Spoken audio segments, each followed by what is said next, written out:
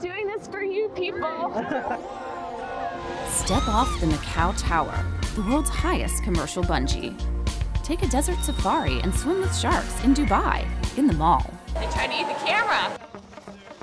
Learn freestyle skiing with Olympian Jonny Moseley outside of Tahoe.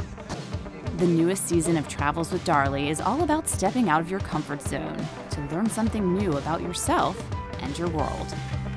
We're showcasing surprising places and adventures that regular travelers can visit and enjoy, and including insights that you can only get when you travel with a local. This is family style, sharing food and happiness. And it's something that represents those in our community that are the invisible.